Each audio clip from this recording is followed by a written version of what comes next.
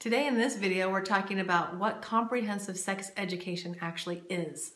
Keeping in line with our principle about beginning with the end in mind, we're going to take you on a little journey. When you think about going on a road trip, you think about where you're going to go and you plot accordingly. You don't just get there, you have to think about where you're going to go, what you need to pack, and all the different factors of that trip.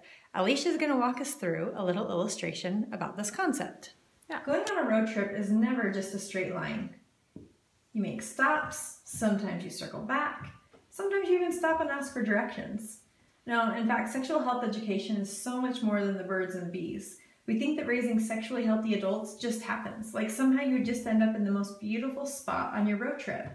There are so many stops along the sexual health road trip, such as human development, relationships, personal skills, sexual behavior, and sexual health.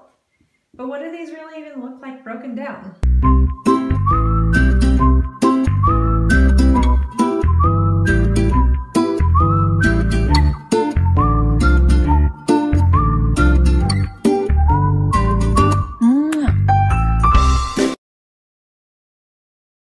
From the moment our kids are born, we have so many opportunities to talk to them about sexual health.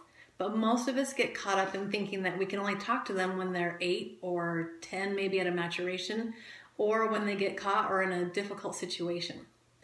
And then we're forced to talk to them again. But our motto is talking to kids about sex is a doable part of parenting. You've got this. You can totally do this.